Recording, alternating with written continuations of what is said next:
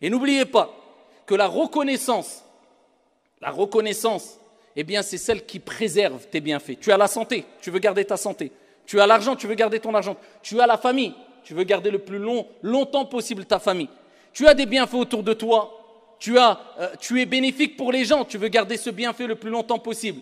Tu as l'opportunité de... Ces bienfaits, tu veux qu'ils restent ou tu veux qu'ils disparaissent? Si tu veux qu'ils restent, c'est facile. Si tu veux qu'ils disparaissent, c'est très facile.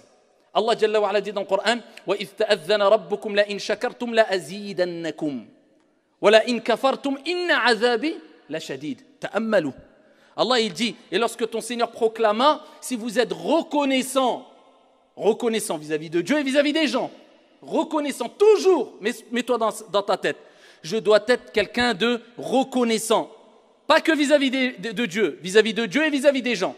Peu importe celui qui est en face de toi, un musulman, un non-musulman, un athée, un agnostique, sois reconnaissant vis-à-vis des gens, des gens de manière générale.